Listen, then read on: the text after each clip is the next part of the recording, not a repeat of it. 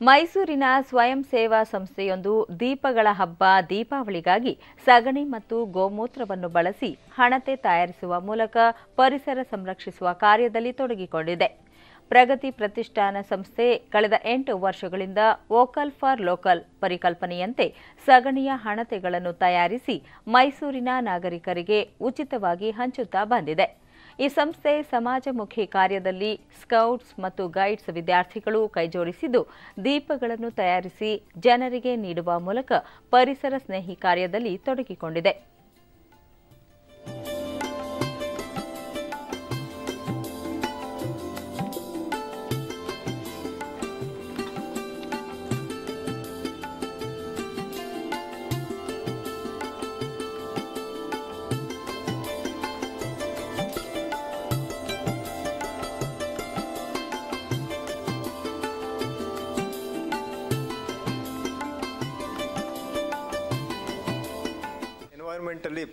ದೂರದರ್ಶನದೊಂದಿಗೆ ಪ್ರತಿಷ್ಠಾನದ ಅಧ್ಯಕ್ಷ ಅಭಯ್ ಕುಮಾರ್ ಜೈನ್. ಮಣ್ಣಿನ ಫಲವತ್ತತೆ ದಿನೇ ದಿನೇ ಕುಸಿಯುತ್ತಿದೆ.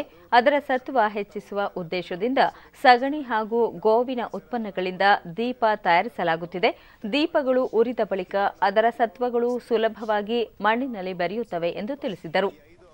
ನಾವು ಹಾಕಿ ಒಂದು ದೀಪಗಳನ್ನು ನಾವು ತಯಾರು ಮಾಡ್ತೀವಿ. ದೀಪಗಳನ್ನು ನಾವು ಮಾಡಿ ನಾವು ಜನರಿಗೆ ಉಚಿತವಾಗಿ ಪ್ರತಿ ವರ್ಷ ನಾವು ಕೊಡ್ತಾ ಬಂದಿದ್ದೀವಿ ಕಳೆದ ಒಂದು ಎರಡ್ ಸಾವಿರದ ಹದಿಮೂರಿಂದನೂ ನಾವು ಈ ಒಂದು ಪ್ರೋಸೆಸ್ನ ನಾವು ಮಾಡ್ತಾ ಇದ್ದೀವಿ ಇಲ್ಲಿ ನಾವು ಸ್ಕೌಟ್ಸ್ ಅಂಡ್ ಗೈಡ್ಸ್ ವಿದ್ಯಾರ್ಥಿನಿ ತೇಜಸ್ವಿನಿ ಸಾವಯವ ವಸ್ತುಗಳಿಂದ ದೀಪಗಳನ್ನು ತಯಾರಿಸುತ್ತಿರುವುದು ಪರಿಸರ ಸ್ನೇಹಿಯಾಗಿದೆ ಎಂದರು. ಯೂಸ್ ಆಗುತ್ತೆ ಮತ್ತೆ ಈ ದೀಪನ ಯೂಸ್ ಮಾಡಾದ್ಮೇಲೆ ಮತ್ತೆ ಪ್ಲಾಂಟ್ ಹಾಕಿ ಗಿಡನ ಬೆಳೆಸ್ಬೋದು.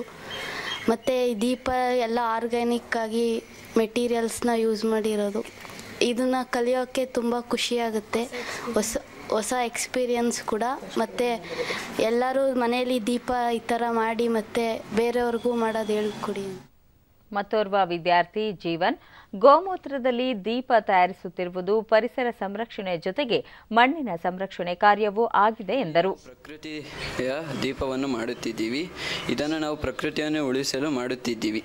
ನನಗೆ ಇದನ್ನು ಮಾಡಲು ತುಂಬಾ ಸಂತೋಷವಾಗುತ್ತಿದೆ. ಈ ಸಗಣಿ ಮತ್ತೆ ಗೋಮೂತ್ರ ಪರಿಸರ ಪ್ರಿಯರಾದ ಭಾನು ಮೋಹನ್ ಪರಿಸರದಲ್ಲಿ ಹೆಚ್ಚಿನ ಇಂಗಾಲದ ಅಂಶಗಳನ್ನು ಕಡಿತಗೊಳಿಸಿ ಆಮ್ಲಜನಕವನ್ನು ಹೆಚ್ಚಿಸುವ ಜೊತೆಗೆ ಸುಲಭವಾಗಿ ಮಣ್ಣಿನಲ್ಲಿ ಬೆರೆಯಲು ಇದು ಉತ್ತಮ ಪ್ರಯೋಗಶೀಲ ಕಾರ್ಯವಾಗಿದೆ ಎಂದರು.